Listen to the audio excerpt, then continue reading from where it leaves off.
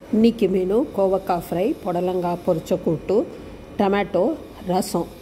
இன்றைக்கி கோவக்காய் ஃப்ரை ஆந்திரா ஸ்டைலில் எப்படி பண்ணுறதுன்னு பார்க்கலாம். அதுக்கு கோவக்காய் ஒரு ஆஃப் கேஜி எடுத்துட்டு இந்த மாதிரி நீட்டாக வாக்கில் மெல்லிஸாக நறுக்கி எடுத்து வச்சுக்கணும். நான் இன்றைக்கி வெறும் கோவக்காய் கறி தான் பண்ணுறேன் ஆனால் இதுக்கு வெங்காயம் ஒன்று எடுத்து பொடி பொடியாக நறுக்கிக்கலாம். இது ஆப்ஷனல் வேணும்னா யூஸ் பண்ணலாம். இல்லைன்னா வெறும் கோவக்காயும் பண்ணிக்கலாம். வறுத்தரைக்கிறதுக்கு தனியா ஒரு டீஸ்பூன் நிலக்கடலை ஒன்றரை டீஸ்பூன் எள்ளு ஒரு டீஸ்பூன் உப்பு ஒரு டீஸ்பூன் அவ்வளவா தேவைக்கேற்ப எடுத்துக்கலாம். ட்ரை கோகோனட் ரெண்டு டீஸ்பூன் எடுத்துக்கணும். இல்லை சாதாரண ட்ரை கோகோனட் கிடைக்கலன்னா சாதாரண தேங்காயும் எடுத்துக்கலாம். ரெட் சில்லி மூணு. கடுகு தாளிக்கிறதுக்கு ஒரு டீஸ்பூன் ஜீரகம் அரை டீஸ்பூன் கொஞ்சம் மஞ்சப்பொடி கருகப்பிலை கொஞ்சோண்டு. ஆயில் எனி ஆயில் எடுத்துக்கலாம். நான் தேங்காய் எண்ணெய் எடுத்துட்டுருக்கேன் வாசனையாக இருக்கும்னு. கொஞ்சோண்டு ஆயிலில் விட்டுண்டு ஃபஸ்ட்டு நிலக்கடலையை நல்லா வறுத்துக்கணும். கடைசியில் போட்டால் அது வறுபடாது. அதனால் முதல்ல நிறக்க நிலக்கடலையை போட்டுன்ட்டு அடுத்தது இதில் எள் தனியா ரெட் சில்லியும் போட்டு விட்டு கருகப்பிலையும் போட்டு தேங்காயும் போட்டு வறுத்து எடுத்து வச்சுக்கணும்.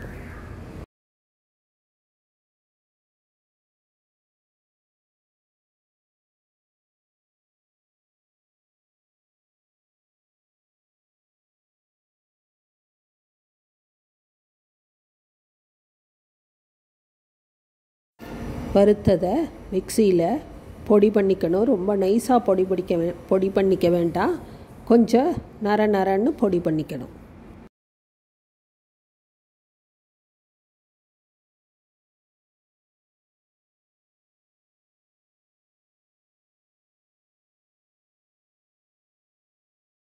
ஒரு வானலியில் எண்ணெயை ஊற்றிண்டு கடுகை போட்டு கடுகு தாளித்த ஒன்று ஜீரகத்தையும் போடணும். போட்டு உளுத்தம் பருப்பு ஒரு அரை டீஸ்பூன் போட்டு வறுத்துக்கணும். வெங்காயத்தை போட்டு நல்லா செ விதங்கின உடனே கோவக்காயும் போட்டு மஞ்சள் உப்பு பொடி போட்டு வதக்கணும். கொஞ்சம் தண்ணியும் எண்ணெயும் ஊற்றி கோவக்காயை ஒரு பத்து நிமிஷம் வேக விடணும். பொரிச்ச குழம்பு தேங்காய் ஜீரகம் பச்சை மிளகாய் அரைச்சி விட்டு இது தக்காளி போட்டு ரசம் மிளகு குஜீரக பொடியை போட்டால் டேஸ்ட்டாக இருக்கும். கோவக்காய் நல்லா அப்பப்போ திறந்து வதக்கணும். வெந்துடுத்தான்னு பார்க்கணும். நல்லா கொஞ்சம் நேரம் ஆகும் வேகிறதுக்கு. அதனால் அப்பப்போ திறந்து திறந்து கொஞ்சம் எண்ணெயை விட்டு வதக்கணும். நல்லா வதங்கிடுத்து